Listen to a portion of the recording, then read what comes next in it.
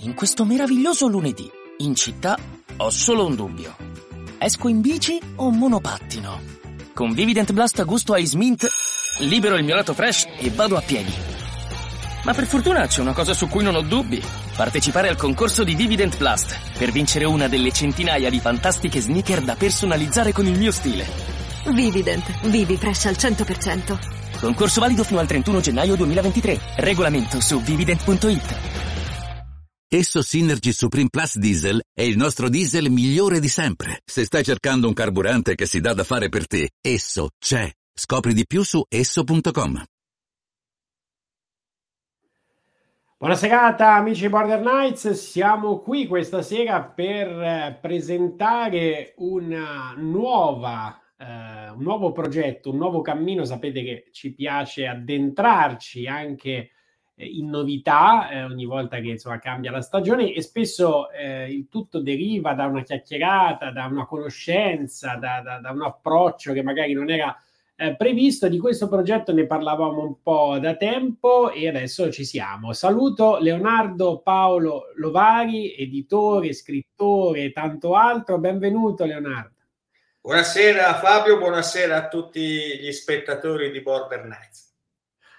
Allora, caro Leonardo, eh, raccontaci intanto un po' per chi non ti conosce, anche se eh, comunque le tue iniziative editoriali hanno fatto parlare eh, sia le cose che ti riguardano da vicino, ma anche gli autori molto interessanti che hai pubblicato e che pubblichi, eh, quindi di che cosa ti occupi e poi andremo a raccontarci che cosa ci porterai ogni settimana. Abbiamo detto eh, la serata del giovedì che sarà dedicata a questo nuovo, a questo nuovo progetto. A te. Ti ringrazio Fabio, eh, quello che posso dire, eh, eh diciamo che nel 2013, nel 2013 abbiamo deciso di uh, aprire questa casa editrice eh, che si, chiama, che si chiama Armachis, Armachis Edizioni, si occupa eh, di crescita personale, di storia antica, filosofia, esoterismo e tutto quello che riguarda la crescita personale e il risveglio della coscienza tramite l'arte e la cultura. Per quanto mi riguarda, eh, anch'io mi sono sempre occupato in, di queste tematiche in parte, eh, anche perché sono operatore pranopratico, quindi appartengo al mondo de, dell'olistica.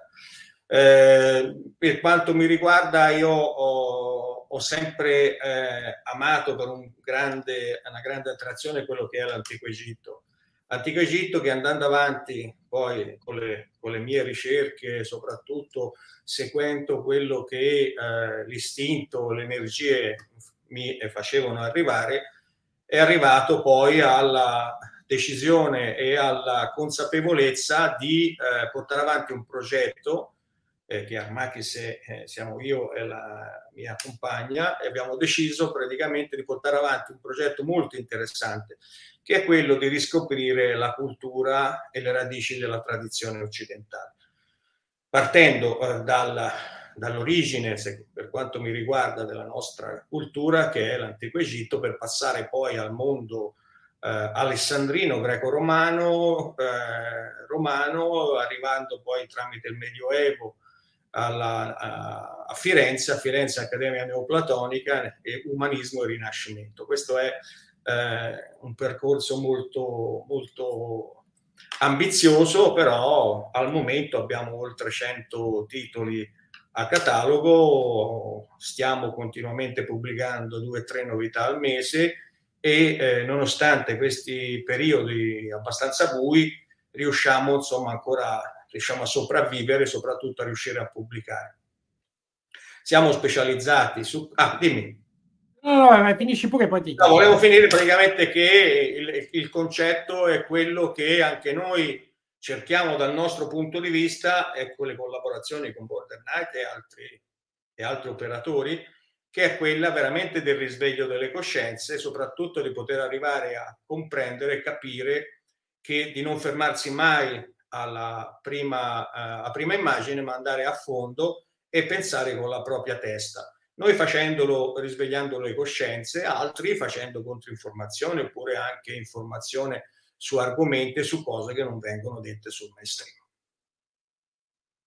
Ecco perché proprio infatti è una da sempre, fin da quando siamo nati, eh, diciamo la nostra particolarità è sempre stata quella di mescolare la realtà contingente poi ecco a un risveglio di altro tipo, e questo grazie chiaramente agli autori che in questi anni si sono alternati. Una volta, caro Leonardo, era molto, tra virgolette anche molto più facile, nel senso che oggi credo che sia anche questo un po' fatto apposta, no? quasi hanno costretto un po' tutti noi quasi a comprimere molto lo spazio del passato, ad esempio, eh, quindi conoscere il passato in una certa maniera per essere risvegliati nel presente. E invece credo che dobbiamo impegnarci eh, a non permettere che, che occupandoti sempre col presente, no? perché te ne fanno una dietro l'altra e quindi eh, per forza no? ti, ti, obbligano. Però invece credo che sia importantissimo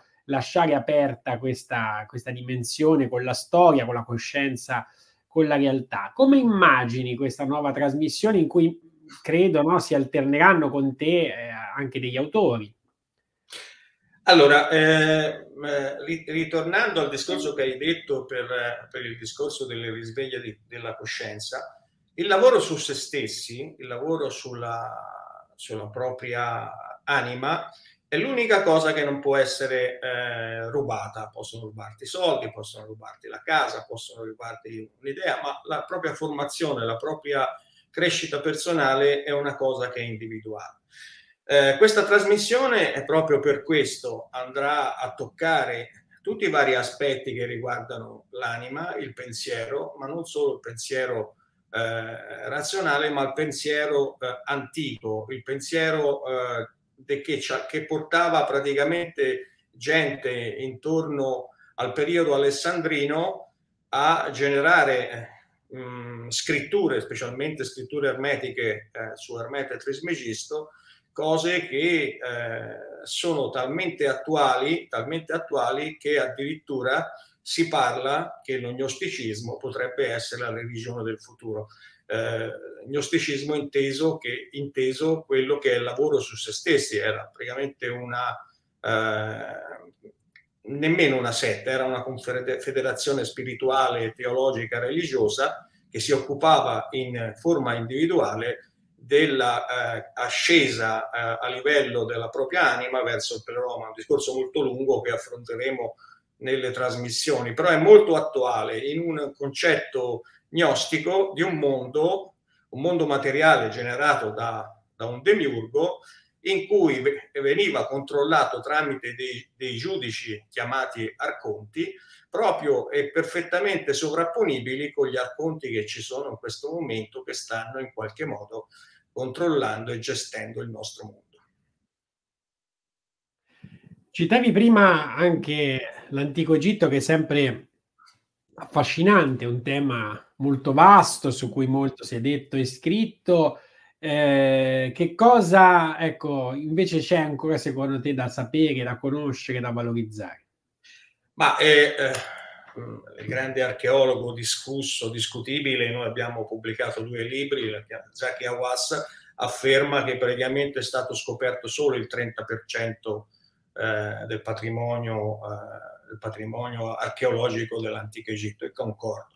A livello di mummie, a livello di eh, faraoni, mancano all'appello alcuni eh, faraoni, tra cui praticamente eh, Nefertiti, che è considerata anche un faraone perché durante la diciottesima dinastia c'è stato un periodo turbolento che, che è coinciso con eh, Akhenaton, il faraone eretico, Tutankhamon, Horemheb e Ai e tra questi anche si parla tra le varie teorie eh, delle successioni anche perché questo faraone eh, è stato obliterato dalla storia perché sono stati cancellati tutti i cartigli. E solo con la scoperta della tomba di Tutankhamon abbiamo, siamo riusciti a scoprire praticamente che esisteva questo faraone che era non considerato, non eh, nemmeno inserito nella cronologia dei faraoni. Quindi eh, Nefertiti come altri, addirittura come il grande Imhotep, il grande Imhotep, il primo costruttore delle, della, della, della, piramide, il costruttore delle piramidi come la piramide di Djoser e tante altre. Però ritengo, per quanto riguarda gli argomenti, siccome Armachis si occupa d'antico Egitto, eh, di egittologia, ma però egittologia sempre in funzione di una ricerca eh, è, una chiave per quanto concerne il risveglio della coscienza, quindi la parte esoterica dell'Egitto, quindi non la parte, eh, come posso dire, archeologica viva. Sì, ci interessa, noi interessa molto il significato delle mummie, quelle le persone che erano, come pensavano e cosa ci hanno lasciato a noi. La cosa molto importante a noi interessa quello che è il mondo magico dell'antico Egitto, connesso poi a quello che riguarda il sistema delle iniziazioni.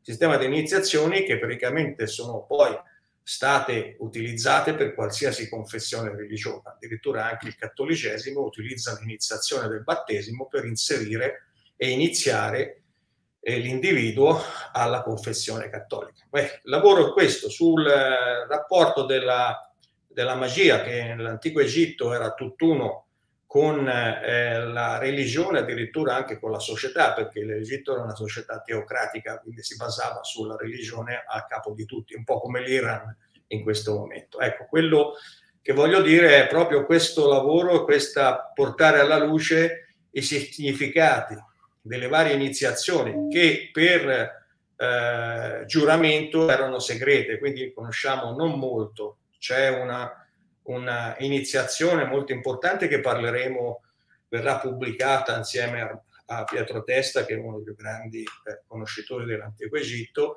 eh, sull'iniziazione di Orsiesis. Praticamente nel libro delle respirazioni c'è una parte in cui fa, ci fa capire praticamente che l'iniziazione che lui ha avuto ad Abidos noi abbiamo dei documenti, abbiamo delle manifestazioni tutti in, in periodo tardo.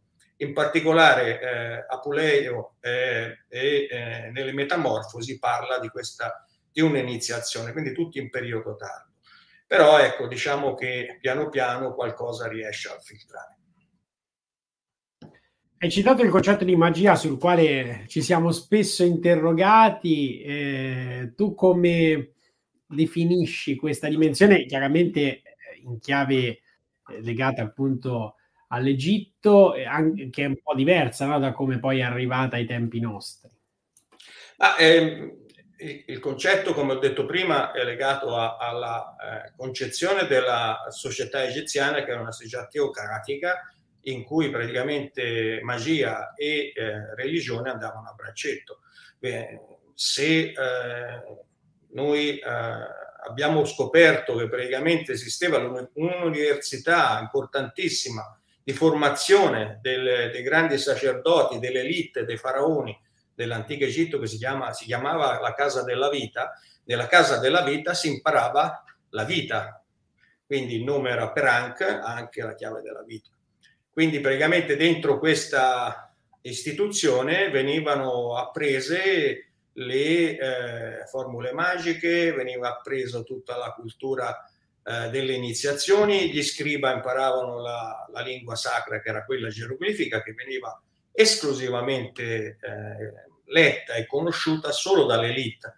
Il popolino non conosceva assolutamente, non leggeva assolutamente i geroglifici, perché i geroglifici lingua sacra, è lingua che veniva iscritta nelle, eh, nei, nelle tombe, nei templi, e negli obelischi e in altri posti. Il popolino parlava il, il demotico, il, la lingua del popolo, eh, mentre lo ieratico eh, lo parlavano i sacerdoti e geroglifica veniva iscritto sulle cose. Quindi molto complessa la, la struttura della eh, società egiziana ma la magia era magia anche popolare, magia naturale, che poi è stata ripresa anche più avanti in tempo, eh, in tempo nell'umanesimo con la magia naturalis eh, di Pico della Mirandola e poi applicata sul concetto dell'Accademia Neoplatonica. Quindi la magia è, è, è sempre nata con l'uomo, questa sensazione di poter dominare quelle che sono le forze che eh, riguardano e l'energia è sempre stata insita nell'uomo. L'importante è non addrentarsi troppo e, e andare in campi che sono molto pericolosi. Eh, appunto, il, il, fatto che quando si parla di Egitto c'è sempre quasi l'equazione con l'archeologia, ecco, invece questa parte qui che è destinata appunto alla crescita dell'uomo eh, è stata un po' scansata, possiamo dire così, da, da, quella che è anche un po' la ricerca storica, cioè eh, grazie appunto a voi e ad altri che, che, che viene eh, studiata, riportata all'attenzione, però effettivamente quando si parla di Egitto no, viene sempre in mente eh, la, la, tomba, la, la, insomma, tutta la dimensione archeologica, piuttosto che questo grande patrimonio del pensiero anche esoterico non solo pensiero esoterico, ma anche pensiero per quanto riguarda anche le, le scienze, quindi la loro concezione di astronomia, la loro concezione di medicina, la loro concezione di eh, uguaglianze, anche la donna era molto considerata, quindi abbiamo veramente una cultura e una civiltà avanzatissima che niente a che vedere eh, con eh, l'egiziano di oggi, è assolutamente una brutta copia nemmeno lontanissima della cultura egizia. Una cultura che si è eh, combattuta e si è eh, praticamente cristallizzata per oltre 3.000 anni, quindi è rimasta stabile, in, immobile, immobile, diciamo stabile nella sua concezione tramite il concetto di giustizia e ordine universale stabilito dalla MAT, dal MAT, che è l'ordine costituito. Quindi eh, l'Egitto è stata sicuramente, insieme ad altre culture che sono anche, diciamo, anche interconnesse, come, come la cultura eh, vedica, come la cultura che comunque hanno dei contatti, hanno avuto dei contatti con l'antico Egitto. Quindi eh, possiamo dire che insomma eh, tutto è connesso e niente è, viene per il caso, insomma, ecco.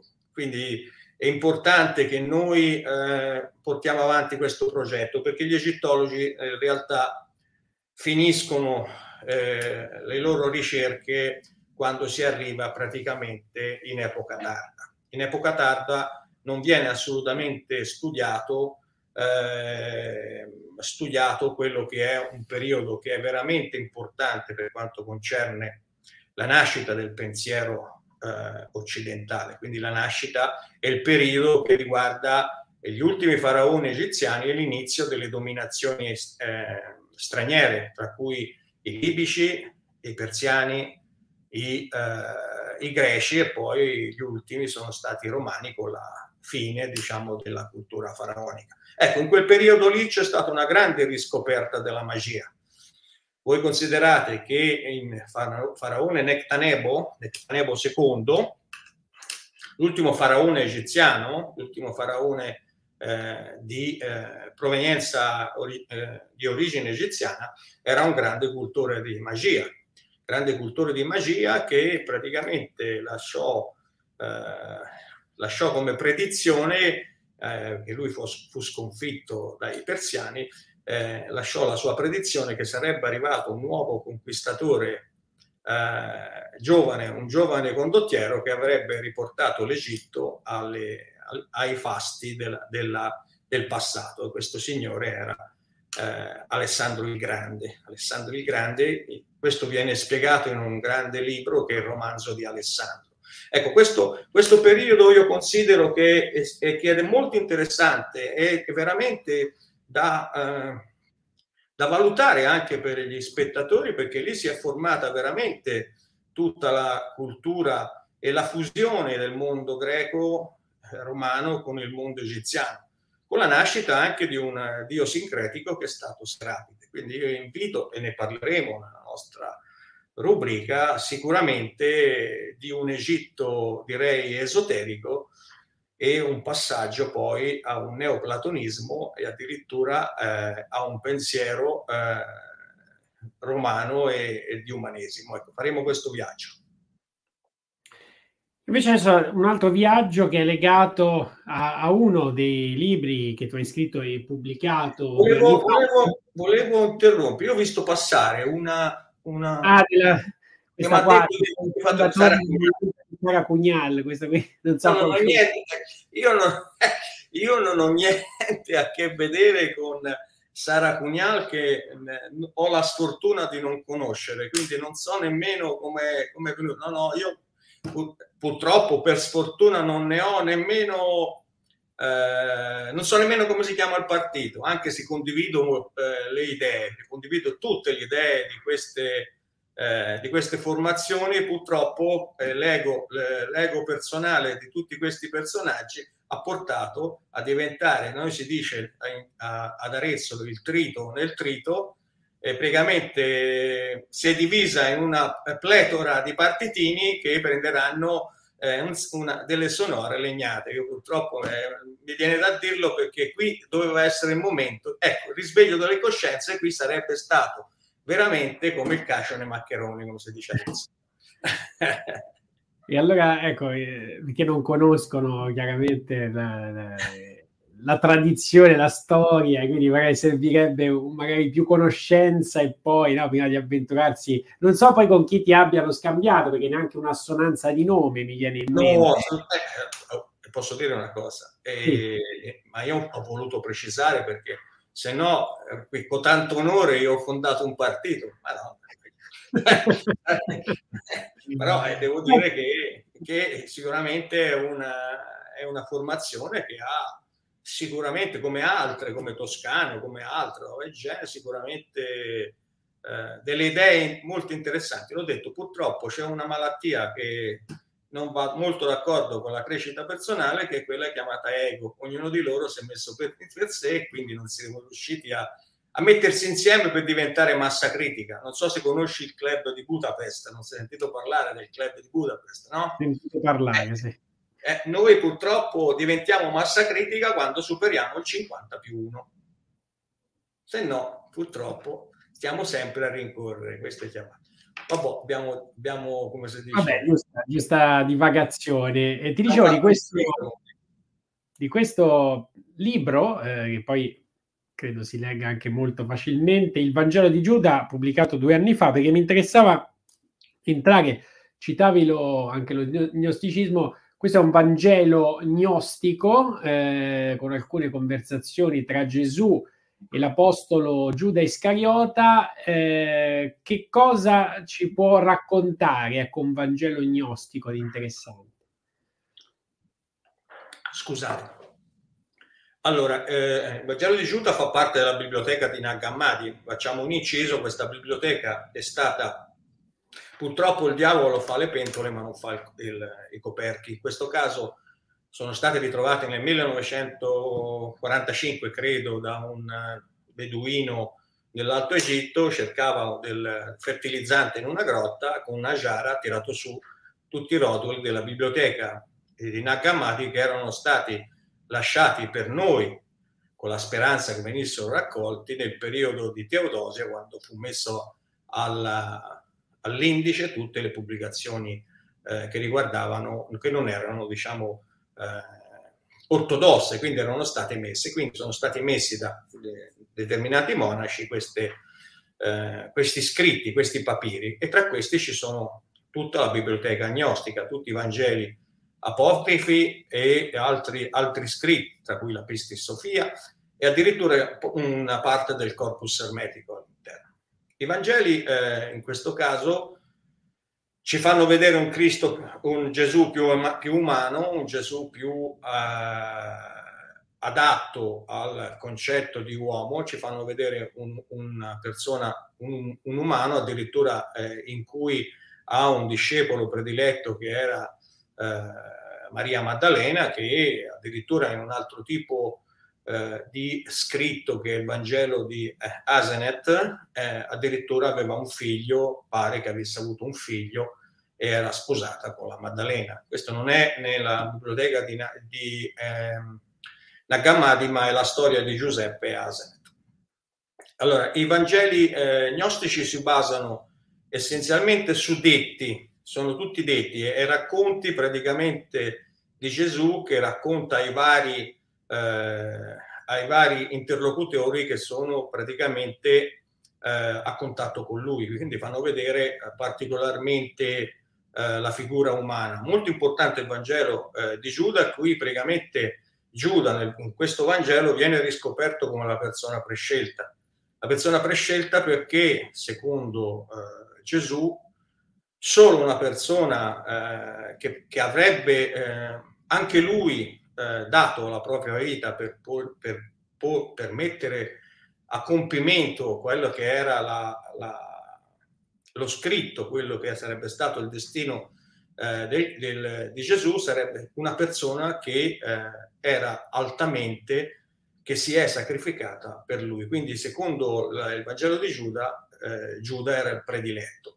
Come altri Vangeli, come il Vangelo di Tommaso, che è, è chiamato anche il quinto Vangelo, eh, però non è riconosciuto dalla Chiesa cristiana cattolica. Però è molto importante perché ci fa vedere e ci fa scoprire praticamente quello che è la reale eh, la reale eh, eh, spiritualità, la spiritualità nel concetto gnostico è una spiritualità individuale, una spiritualità che non ha bisogno né di templi, né di chiese, né di raggruppamenti, ma in realtà il, la figura del, del, del, Dio ineffabile di Gesù la possiamo trovare in qualsiasi eh, manifesto, in qualsiasi interpretazione, in qualsiasi eh, manifestazione della natura. Addirittura nel Vangelo eh, di Tommaso parla che alza una pietra e lì mi troverai, insomma.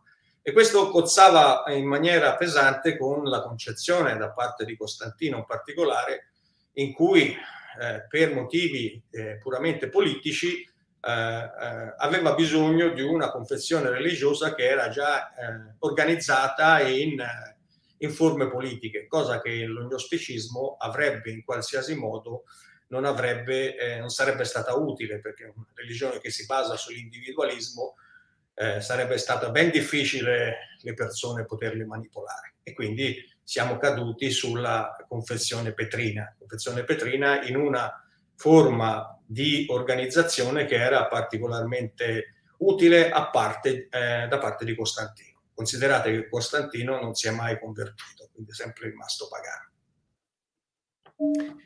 C'è qualcosa che può legare Gesù, per fare, tornare al discorso di prima, all'Egitto? Ma sì, diciamo che c'è un passo, no? C'è un passo eh, del profeta Osea in cui dice fuori dall'Egitto ho portato mio figlio. Eh, c'è una dimostrazione veramente inscindibile del, del rapporto eh, quasi simbiotico con l'Egitto. Eh, nella chiesa copta, eh, ortodossa copta egiziana, eh, c'è una grossa tradizione per quanto riguarda il, il, viaggio della Sacra Famiglia. Da noi viene affrontato in, bast- in maniera abbastanza superficiale nella Chiesa cattolica.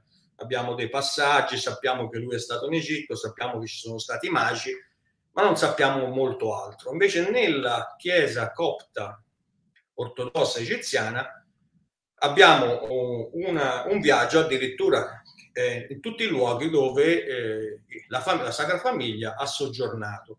Quindi ci, ci troviamo in una confessione che conosce in particolar modo tanti luoghi molto interessanti, ma che arrivano fino quasi a Luxor. Quindi lui ha girato con la Sacra Famiglia quando era eh, inseguita diciamo dai romani e da Erode e eh, se seguite anche le nostre trasmissioni ne parleremo della Sacra Famiglia e scoprirete che eh, se fate un viaggio in Egitto c'è anche un viaggio organizzato che si chiama il viaggio della Sacra Famiglia che ci sono tanti, eh, tanti monasteri specialmente nel deserto bianco nel Fayun al Cairo, nel quartiere copto, c'è addirittura l'albero di Maria, la, la, la, la, fonte dove si è abbeverata, quindi c'è un viaggio particolarmente importante.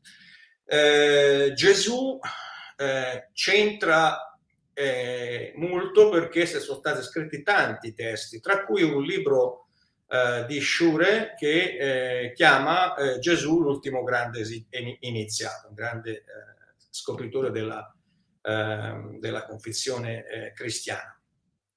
Parlando di Akhenaton, Akhenaton eh, c'entra con il nostro Cristo perché eh, la sua eresia, la sua eh, visione, il suo grande sogno è, è stato quello di eh, adorare una forma monoteistica di culto, eh, la prima volta nella storia, in cui si eh, manifesta una confessione, una teologia talmente sofisticata e poi talmente astratta che eh, probabilmente le tre religioni abramitiche eh, riescono a concepire. Quindi è una religione che eh, non aveva né forma né volto, quindi un, un, dio trascendente, un po' il dio del pleroma, quindi era il disco solare in questo caso. E da Akhenaton, andando avanti, abbiamo poi scoperto che il culto di Akhenaton è stato eh, ripristinato il culto di Amon, ma in realtà non, la, il culto egiziano non è stato più lo stesso. Ci sono state tante contaminazioni per arrivare poi al discorso di Mosè, personaggio biblico, personaggio non storico ma biblico, in cui si eh, pensa che addirittura alcuni scrittori, tra cui anche un nostro libro di Ahmed Osman, Mosè e Akhenaton, eh, lo scrittore afferma che Mosè e Akhenaton erano la stessa persona. Il grande eh, filosofo, il grande psichiatra Sigmund Freud, un altro libro che noi abbiamo pubblicato, che è Mosè e il monoteismo eh, afferma che eh, probabilmente Mosè era un personaggio molto vicino alla corte di Akhenaton e quindi praticamente ha dimostrato tramite una sequenza di passaggi filologici e esegetici che praticamente più grande, la più grande invocazione ebraica in realtà non eh, fa adorare Yahweh, che non è pronunciabile ma viene eh, pronunciato con Adonai, nella forma egiziana di Aton, il famoso dio di Akhenaton. Quindi ce n'è da chiacchierare in questo caso, in questo senso. Tutte cose che non vengono mai ed poi mai eh, portate eh, alla luce, ma in realtà ci fanno capire in realtà che sempre di più bisogna ascoltare tutte le campane tutte le campane e utilizzare un senso critico per farsi un'idea personale. Questo io ritengo che sia molto importante. Non possiamo fermarsi sempre alla, alla, alla, alla prima immagine. Realtà bisogna andare avanti, bisogna essere curiosi, bisogna essere persone in cui il dubbio è la cosa principale, un dubbio, un dubbio sano, perché senza dubbio non ci sarebbero state le grandi scoperte scientifiche, non ci sarebbe stato un avanzamento del pensiero. Quindi io dico sempre a tutti usate il dubbio, usate la vostra intelligenza, pensate, riflettete e vedrete che sicuramente dentro di voi questo seme, no? questa scintilla divina che è il pensiero gnostico, che è sempre di più importante in questo, uh, in questo periodo. Addirittura un nostro autore, Ezio Albrile, afferma in un libro che il, il, l'ognosticismo è una religione per futura, perché sono i tempi proprio i tempi per lo gnostico. Quindi dobbiamo combattere il mondo materiale, il mondo del demiurgo, il mondo degli arconti, il mondo dei poteri occulti, solo e esclusivamente con la scintilla divina che ci è stata impressa, nonostante tutto, dal Dio ineffabile. Perché il Dio che dice Biglino no? è famoso demiurgo, il famoso demiurgo che c'è ora è il Dio che ne parla Biglino. Biglino ne parla molto bene nei suoi libri ed è un, è, un, è un, Dio inferiore, un Dio che ha creato questo mondo materiale, in cui la gente e il mondo si alimenta, questi arconti, queste figure eh, demoniache si alimentano con la paura. Periodo proprio perfetto dove qualsiasi cosa che ci viene propinata è per far alimentare la paura, perché la, fa- la paura purtroppo blocca, la paura eh, praticamente ti fa perdere completamente quello che è il controllo e soprattutto il dubbio. Quindi bisogna in qualche modo eh, lottare contro questa paura. C'è un libro bellissimo che non mi ricordo l'autore, si chiama Tu per tu con la paura. Solo affrontando la paura, ma non facendoci, eh, no, non fa, facendosi eh, sovrastare da essa, possiamo in qualche modo cavalcare eh, la nostra, la nostra energia. Quindi la nostra energia non può essere contaminata. Quindi lavorando su se stesso, lavorando sulla scintilla divina, lavorando sul dubbio, soprattutto eh, riscoprire valori, i valori che sono quelli eh, degli antichi, una sana e eh, perfetta, come si dice, conoscenza di se stessi, vedrete che sicuramente ci sarà, mh, sarà più difficile per queste persone impossessarsi eh, di noi. Eh, mi fa piacere per, per concludere che eh, siccome anni fa un'ascoltatrice mi inviò una paccata di libri di Samael Aun Weor e eh, vedo che li avete anche voi nel catalogo, ne ho alcuni qui davanti. E la cosa mi fa molto piacere perché fu per me una bella scoperta eh, proprio per avvicinarmi a questo mondo del gnosticismo che non avevo mai approfondito e confermo insomma la validità di, di, di, di questo pensiero. E volevo, volevo eh, far, capire, eh, far capire una cosa importante. Voi non so se avete mai visto questo serpente che si morde la coda, lo Euroboros, no? si chiama. E per far capire il concetto antico del tempo, no? noi abbiamo un tempo ora lineare, no? i nostri amici arconti ci fanno un tempo lineare dove un inizio c'è una fine. Per gli egiziani, per la mentalità gnostica, eh, non c'è un inizio e una fine. C'è una morte e una rinascita, c'è un bianco e un nero, c'è una luce e un'ombra, quindi un, un tempo che è ciclico in questo caso.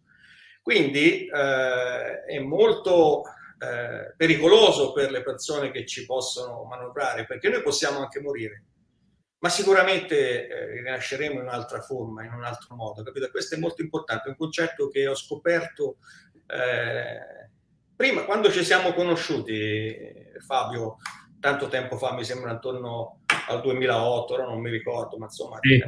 in periodi non sospetti, no? Sì.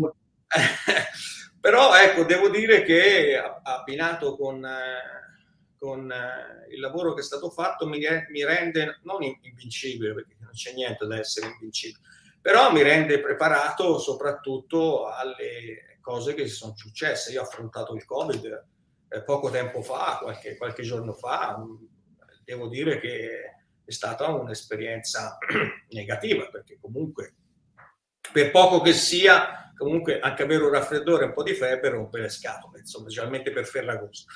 Però ecco, devo dire che sei eh, pronto, no? Hai gli strumenti per non farsi sovrastare. Quindi tutte le uh, attività, tutte le cose che noi facciamo in qualche modo eh, sono importanti, soprattutto non piangerci addosso. Questa è una cosa che ho imparato perché ho avuto anch'io di, di, uh, di Arezzo si dice dei casini, no? Cioè, quindi eh, ho imparato so, soprattutto a non piangersi addosso, soprattutto in qualche modo eh, il mondo andrà avanti, no? poi eh, ci sarà un inizio e una fine. Se consideriamo il tempo circolare, vedrai questi signori pian piano gli passerà la voglia, ci sarà sempre un resoconto.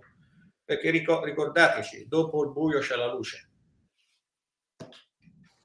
E poi ecco, al posto della, del piangersi addosso, l- lo sforzo creativo può essere qualcosa, no? Cioè ti capita un fatto che tu interpreti come negativo, se tu parallelamente a questo, oltre a invece che lamentarti, comunque riesci a creare qualcosa di nuovo e di diverso che magari non avresti creato senza quell'evento, forse è, è la miglior risposta. Ma ehm, eh, alcuni chiamano resilienza, io non, non, vorrei chiamarla resilienza perché è un concetto abbastanza... Draghiano. Eh? Draghiano di, di Vacchi. e io la, la, parlerei il buio nero dell'anima. C'è un, un, uno scrittore molto, molto bravo che è Greg Braden, non so se lo conosci Fabio. Certo, eh, la, Matrix Greg, la ha scritto la Matrix Divina. Eh, eh, Greg Braden ha fatto, ha fatto, un testo che si chiama sì. Specchi e Seni. Sì. Specchi e Seni, questa comunità eh, di cui pa- pare che anche Gesù facesse parte, ne Essenio na Essenio, eh, hanno eh, sviluppato i sette specchi, no? sette specchi di, che sono praticamente lo specchio di noi, di come ci vedono gli altri. E c'è il, non mi ricordo il sesto specchio, quello specchio, il buio nero dell'anima. Il buio nero dell'anima è noi siamo nel periodo peggiore eh, e siamo nel momento in cui non abbiamo nessuna speranza, no? Però dentro di noi, come ha detto prima, abbiamo una, scintilla, una scintilla, degli strumenti, dei mezzi per poter risalire, quindi per ritornare in alto. Importante. Ne parla il Pimandro, ne parla, se uno conosce Ermete Trismegisto, è quello che si chiama una trasmutazione alchemica, no? quindi un passaggio da, uh, da quello che è la, la materia, uh, la materia sporca, diciamo il piombo, eh, lavorando su se stessi possiamo andare verso l'oro, quindi verso il sole, quindi ascendere eh, dal, dal, nero e, e, andare verso il cielo. Questo è un lavoro molto importante, questa, questo lavoro alchemico, no? questo lavoro alchemico su se stesso, quindi anche, la, anche l'Egitto che è il fondatore insieme agli arabi dell'alchimia, quindi della parola uh, alchemia, Kemet, che praticamente è la parola che significa terra nera e significa praticamente il,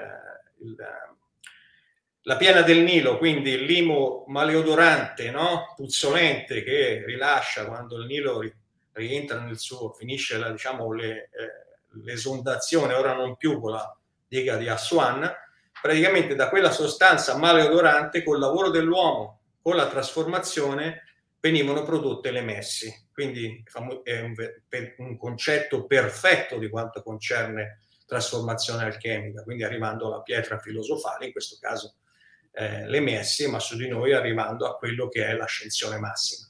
Volevo fare una, eh, una, una cosa molto interessante, se avete voglia e tempo di andare a Siena, voi avrete la manifestazione più lampante eh, in un tempio cristiano delle forme di paganesimo e di ermetismo al Duomo di Siena, al pavimento di Siena, alla prima tarzia abbiamo Ermete Trismegisto che dona i libri sacri e le leggi agli egiziani. Non so se hai mai visto te Fabio a Siena, insomma. No, non, non, mi è, non mi è capitato pur avendola molto frequentata. Allora, io ricordo il sito intanto di armachisedizioni.org sì. e, e, a questo punto noi possiamo già dare l'appuntamento a giovedì della prossima settimana o andiamo... Giovedì della prossima settimana vedremo eh, se eh, farò ancora una trasmissione io su un argomento che conosco bene oppure riusciamo a fare in tempo a, regist- a registrare con un nostro... Eh, un nostro autore. Probabilmente eh, Matteo Gazzolo che parlerà di esperienze premorte, molto conosciuto, il figlio di Nando Gazzolo che ha scritto un bellissimo eh, libro. Eh.